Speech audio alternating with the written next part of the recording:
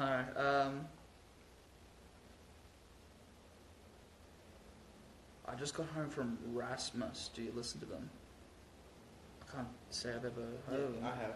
Have you? Yeah. What are they? Just a band, a uh, rock band from like the 2000s, like mid 2000s. okay. Yeah. Um, If it's the one that I'm thinking of, anyway. tell us a story where I find a question. Trick, since you're the guest, you don't you're not really on these lives too much. Tell us a story. I'm left-handed and right-handed. Is that called ambidex- ambidextrous? What's your funniest l- live story from playing drums? Or anything that stands out? Oh, sometimes I stand on my kit, and then I got back down, and as I came back down, I kicked my snare over. Did you? I had to pick it back up before the, before the, the What chorus sh- what started. show was that? I don't know. I didn't even notice that. It was one of the Escape the Fate. Tour. Was it really? Yeah. That's so funny, dude. I, like I kicked it as I sat down. It, I caught it and then pulled it back up. Imagine yeah. if you just went straight through the snare. or if you just like ate, she's like. I fall forward. yeah. How are you all? We're good. Good, good, good. Um, some similar questions like when a date's show date's coming out. Uh, what time is it over there? It's two twenty in the afternoon in Los Angeles. How are you guys? Good. Okay, cool. Um, down the bottom now. What's the craziest thing? What's the craziest thing that has happened to any of you? Um, craziest. I almost died in a snowstorm. Probably. um, yeah, getting getting lost in a snowstorm was probably the craziest thing for me. Yeah, that sounds pretty crazy. That was pretty shit. Um, we we're in, I was in Colorado, and we went basically like just like through the trees and stuff like that. My friend and myself, and yeah, we eventually hit like snow that was like coming up to your waist. So to get like you know from here to the door or whatever, that would take you like ten minutes. Like pull pull yourself out, and then go over, then do the same thing. And the sun was going down. Um, and then we thought we were free. We thought we got out because we saw like a clearing.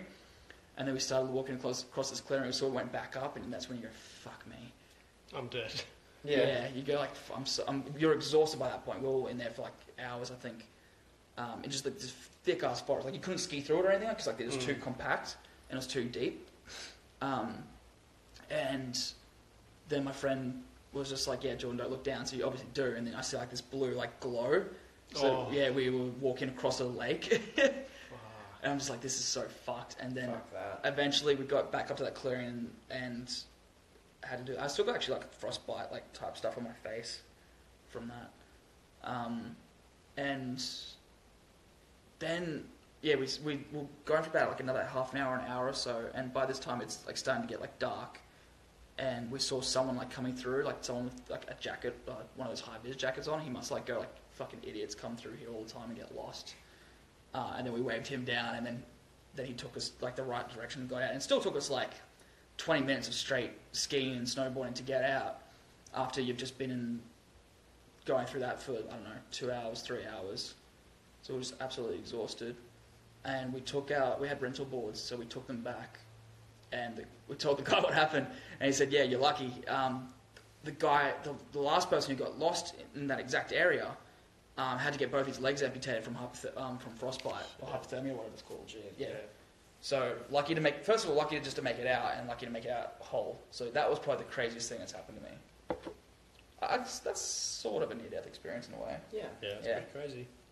Trip, uh, you would have. Oh, so I'm trying to think.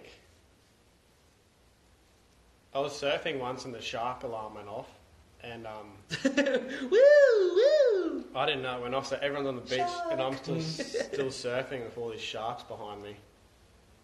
How many? It was like two or three. Yeah. There's something. Oh, there's that guy with the GoPro under his board or whatever, and his legs are just. You see, just like his legs dangling. There's like a shark that. Yeah. It's like, man, you don't even know what's under there. Nick. That's fucking creepy. Um,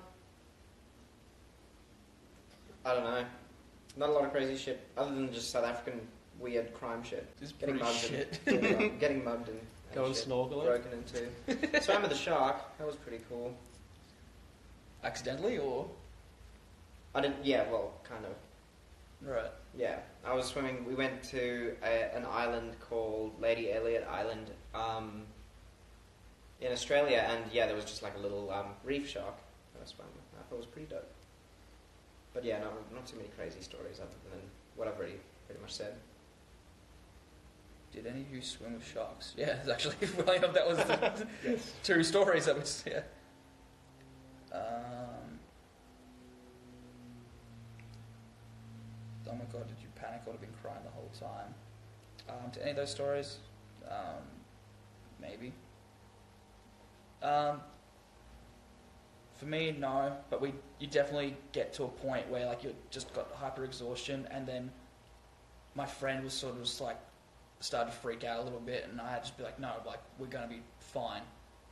And then I started getting a little bit anxious when we hit the clearing, and we thought we we're out, and then we weren't. I was just like, oh my god.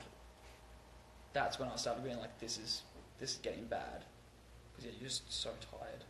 I just rem- I did have to leopard crawl around the house once to get to a panic button because there were people breaking in when I was like I think like seven. That's so I literally had to like leopard crawl on the ground, like past all the window, because I woke up at night time and I looked out my window and there were just like two dudes there. Um, Hmm. so I had a little Rambo moment. Favorite fruit or vegetable? A little Rambo moment. Yeah. I like it. Um, Orange. fruit or uh, right fruit. Fruit probably just apples. I like apples.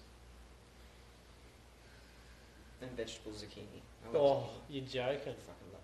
Actually, avocado and zucchini. That's disgusting. You can do a lot with cauliflower.